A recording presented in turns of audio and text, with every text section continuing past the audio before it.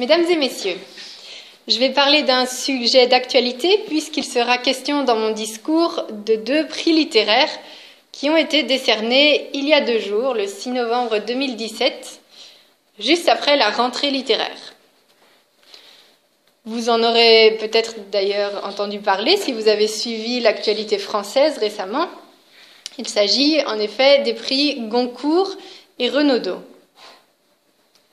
D'ailleurs, peut-être avez-vous vu dans les librairies ces fameux bandeaux rouges autour des livres qui indiquent que le livre a été primé. Donc je vais rapidement parler du prix Goncourt et du prix Renaudot, et puis je vais m'intéresser rapidement à la question de l'effet de ces prix littéraires sur les ventes des livres. Tout d'abord, le prix Goncourt. Le prix Goncourt est un prix littéraire qui récompense les auteurs francophones. Ce prix a été créé par le testament d'Edmond de Goncourt à la fin du XIXe siècle. La Société littéraire des Goncourt a été officiellement fondée en 1902 et le premier prix Goncourt a été remis en 1903. Le prix Goncourt est décerné chaque année au début du mois de novembre. Le montant du prix est de 10 euros. Oui, oui, 10 euros. Euh, mais l'enjeu économique est en réalité tout autre. Puisque selon les cas, un roman primé peut s'écouler entre 200 000 et 500 000 exemplaires. Et d'ailleurs, ce chèque de 10 euros étant symbolique, souvent les auteurs l'encadrent et ne l'encaissent pas. Alors cette année, c'est le récit d'Éric Vuillard qui a été couronné par le prix Goncourt. Euh, ce récit s'intitule L'ordre du jour.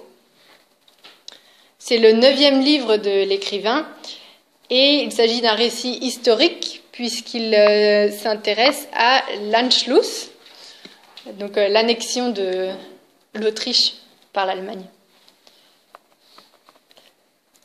Euh, ce récit mêle grotesque et tragique et se faufile dans les coulisses des événements historiques pour montrer l'envers du décor de ce sombre chapitre de l'histoire.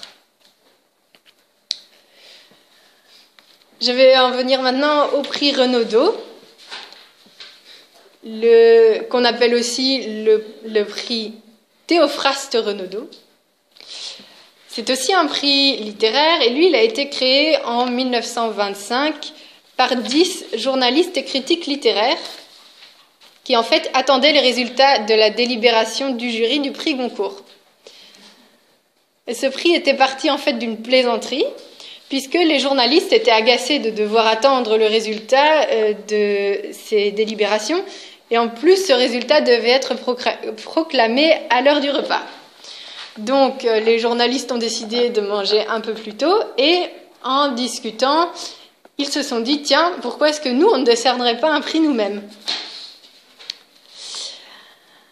Et euh, même si à l'origine c'était une plaisanterie, ces dix confrères se sont tout de même réunis l'année suivante. Et euh, ce fut le début d'une longue histoire littéraire. Et donc, euh, foncièrement, le prix Renaudot est un prix anti-Goncourt. Cette année, le prix Renaudot a été remis à Olivier Guèze pour son euh, récit qui s'intitule La disparition de Joseph Mengele. Euh, l'auteur strasbourgeois s'intéresse dans ce livre aux années de fuite d'un médecin nazi qui s'appelle euh, Joseph Mengele et qu'on surnommait le, médecin d'Auschwitz. Ce médecin n'a soigné absolument personne, mais il s'est livré à des, à des expériences d'une cruauté innommable. Vous l'aurez constaté, ces deux euh, récits ce sont deux récits historiques qui ont été primés cette année. Je vais parler maintenant de l'effet sur euh, les ventes de livres. Euh, je l'évoquais tout à l'heure, la remise de ces prix littéraires a un véritable effet sur euh, les ventes des livres concernés. en plus d'être la consécration suprême pour l'écrivain qui voit ainsi la qualité de son travail récompensée, le prix fait bondir la vente du livre concerné, euh, avec un pic des ventes à Noël. Et c'est toujours le, le Goncourt qui mène la course, avec une moyenne de 395 000 livres vendus pour un prix Goncourt contre 178 000 pour le prix Renaudot. Il faut dire que la rentrée littéraire représente en moyenne 20% du chiffre annuel de ce qu'on appelle la fiction moderne de grand format. En effet, l'écho médiatique créé autour de cet événement a un effet direct sur les motivations d'achat des consommateurs.